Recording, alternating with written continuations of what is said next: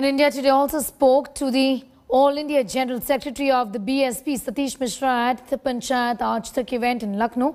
He told us that BSP is looking confident to win the upcoming UP elections. Listen in. क्या BSP में 2021 में उत्तर प्रदेश में जब अगले साल चुनाव होगा जीतने का मादा है वो दम है या अब आज की जो बीजेपी बीएसपी है वो इतनी कमज़ोर हो चुकी है कि अब ये बीजेपी की बी टीम के तौर पे देखी जा रही है। देखिए, बहुजन समाज पार्टी 2021 में अपनी क्षमता के तहत और पूर्ण बहुमत से सरकार 2007 में जितनी हम लोग क्षमता से आए, जितनी सीटों से आए तो उससे बहुत बहुत ज़्यादा से और पूर्ण बहुमत की सरकार बनाएगी। अब पूरा प्रदेश इस समय बहन मायावती जी की तरफ़ देख रहा है। और 2007 में जब हमने सरकार बनाई थी तो इसी प्रकार से लोगों कह रहे थे कि बहुजन समाज पार्टी कहाँ से आ जाएगी? बहुजन समाज पार्टी की सरकार नहीं बन सकती।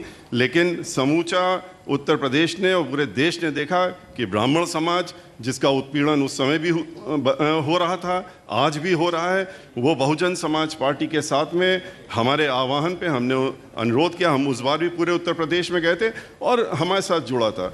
आज तो वो उससे कहीं ज़्यादा संख्या में जुड़ रहा है।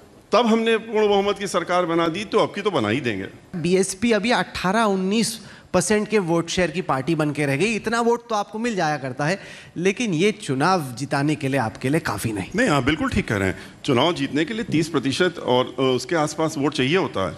और आपको मालूम है कि उत्तर प्रदेश में तेरह परसेंट तो सरकारी आंकड़ों के हिसाब से, साढ़े सोलह प्रतिशत एक्चुअल में ब्राह्मण समाज है और तेईस प्रतिशत सरकारी आंकड़ों के हिसाब से और लगभग चौबीस से पच्चीस एक्चुअली जो शेड्यूल कास्ट है वो हैं।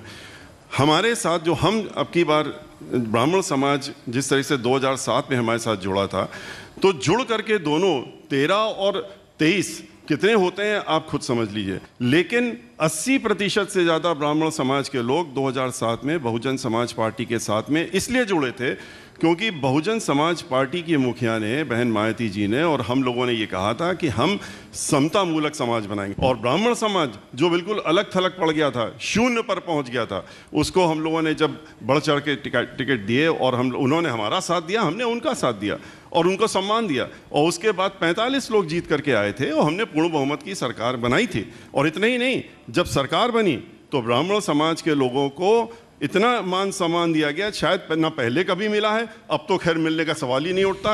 अब तो यहाँ पर उनको खाली नाम पूछो रोको और नाम अगर आ, किसी ब्राह्मण का निकल के आ रहा है तो जो नीति है इस समय कि अगर मज़बूत ब्राह्मण है तो उसको रोक के ठोंक दो और गोली मार दो चाहे सीने मारो चाहे सर में मारो लेकिन मार दो उसको।